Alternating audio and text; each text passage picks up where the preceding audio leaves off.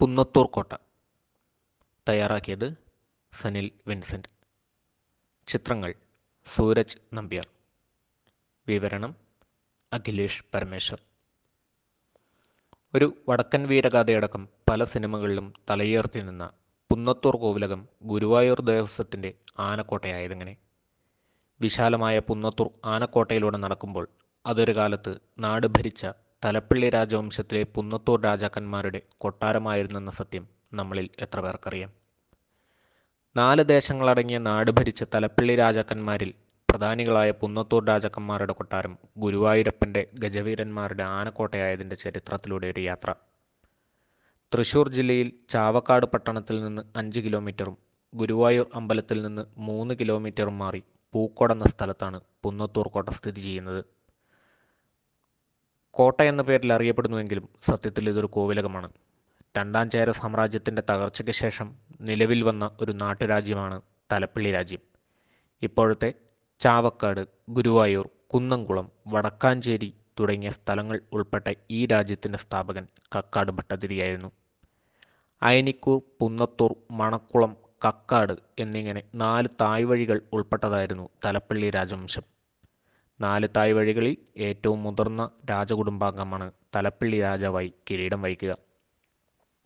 പതിനെട്ടാം നൂറ്റാണ്ടിൽ കക്കാട് ശാഖ അന്യം നിന്നതിനെ തുടർന്ന് ആ ശാഖയുടെ സ്വത്ത് പങ്കുവയ്ക്കുന്നതിനെ ചൊല്ലി ഇതര ശാഖകൾ തമ്മിൽ തർക്കമുണ്ടാവുകയും പുന്നത്തൂർ ശാഖ കോഴിക്കോട് സാമൂതിരിയുടെ സഹായം അഭ്യർത്ഥിക്കുകയും ചെയ്തു. തുടർന്ന് സാമൂതിരിയുടെ മധ്യസ്ഥതയിൽ പ്രശ്നം പരിഹരിക്കപ്പെടുകയും പിന്നീട് മറ്റ് മൂന്ന് ശാഖകളും ചേർന്ന് അംഗീകരിച്ചിരുന്നവരിൽ മൂത്ത അംഗമായിരുന്നു കക്കാട് കാരണവപ്പാട്. ഇതിൽ സ്വതന്ത്രാധികാരം കൈയാളിയിരുന്ന പുന്നത്തൂർ രാജവംശമാണ് പുന്നത്തൂർ കോട്ട അഥവാ പുന്നത്തൂർ കോവിലകം പണി കഴിച്ചത്. പത്തേക്കർ വിസ്തൃതിയിലാണ് കോവിലകം നിലനിൽക്കുന്നത്. തനതായ വാസ്തുശാസ്ത്ര പാരമ്പര്യ രീതിയിലാണ് കോട്ടയും കോട്ടയ്ക്കുള്ളിൽ നാലുകെട്ട് നിർമ്മിച്ചിരിക്കുന്നത്. കോവിലകത്തിന്റെ വാതിൽപ്പടിയിലെ കൊത്തുപണികൾ ആരെയും ആകർഷിക്കുന്നതാണ്. ദേവീരൂപത്തിന്റെ ഇരുവശങ്ങളിലായി രണ്ടാനകൾ തുമ്പിയുയർത്തി നിൽക്കുന്ന ഒന്നും കൃഷ്ണനും ഗണപതിയും ഉൾപ്പെടെയുള്ള ദേവന്മാരുടെ രൂപങ്ങൾ അതിസൂക്ഷ്മമായി കൊത്തിയിരിക്കുന്ന മറ്റൊരു ചിത്രവും നമുക്കവിടെ കാണാം. ഉള്ളിലൊരു ശിവപാർവതി ക്ഷേത്രവും സ്ഥിതി ചെയ്യുന്നു. കോട്ടയ്ക്കും നാലുകെട്ടിനും ക്ഷേത്രത്തിനും നാനൂറ് വർഷങ്ങളോളം പഴക്കമുണ്ട്. ഈ നാലുകെട്ട് കാലങ്ങളായി വേണ്ട രീതിയിലുള്ള അറ്റകുറ്റപ്പണികൾ ചെയ്യാത്തതിനാൽ ഇപ്പോൾ ശോചനീയാവസ്ഥയിലാണ് കോഴിക്കോട് സാമുദ്രിയുടെ സാമന്ത രാജാക്കന്മാർ കൂടിയായിരുന്ന പുന്നത്തൂർ നാടുവഴികൾ. കോട്ടയുടെ പടി വഴി പരിവാരസമേതം സഞ്ചരിക്കുമ്പോൾ ഇരുവശത്തുമുള്ള വീട്ടുകാർ ചങ്ങല വിളക്ക് തെളിയിച്ച് സ്വീകരിച്ചിരുന്നു. കാലക്രമേണ കോട്ടയുടെ പടി ലോപിച്ച് കോട്ടപ്പടി അങ്ങാടിയായി. അങ്ങാടി വൻ കച്ചവട കേന്ദ്രമാവുകയും ചെയ്തു. അതോടെ അയിത്തജാതിക്കാർ അങ്ങാടിയിൽ പ്രവേശിക്കുന്നുവെന്ന് പറഞ്ഞ് കോട്ടയിൽ നിന്നും മങ്ങാടിയിലേക്കുള്ള പ്രവേശന മാർഗം മഹാരാജാവ് കൊട്ടിയടച്ചു.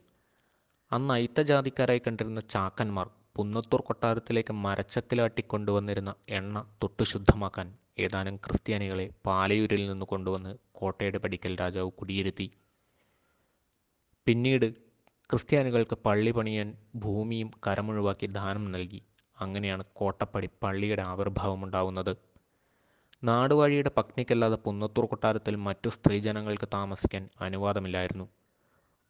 കൊട്ടാരത്തിനോട് ചേർന്ന് തന്നെയുള്ള കാവീട് എന്ന സ്ഥലത്തുള്ള ചെറിയ കൊട്ടാരത്തിലായിരുന്നു പുന്നത്തൂർ കൊട്ടാരത്തിലെ മറ്റ് സ്ത്രീകൾ താമസിച്ചിരുന്നത്.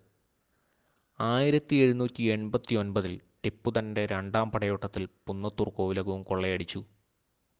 തന്റെ നരനായാട്ടിന് ശേഷം മടങ്ങാൻ തീരുമാനിച്ച ടിപ്പു കോട്ടപ്പടി അങ്ങാടിയും പള്ളിയും വെറുതെ വിട്ടില്ല. അവയും അഗ്നിക്കിരയാക്കി. പൂർണമായും തകർന്നടിഞ്ഞ അങ്ങാടിയും പള്ളിയും പിന്നീട് വർഷങ്ങളുടെ ദൈർഘ്യത്തിൽ പുനരുദ്ധരിച്ചു. പുന്നത്തൂരിലെ അവസാന നാടുവാഴിയായിരുന്ന ഗോതവർമ്മ വലിയ രാജയ്ക്ക് ശേഷം ഭൂപരിഷ്കരണ നിയമത്തിലും ഓഗരി ഭാഗം വയ്പിലും പുന്നത്തൂർ കൊട്ടാരത്തിന്റെ പ്രതാപകാലത്തിന് മങ്ങലേറ്റു.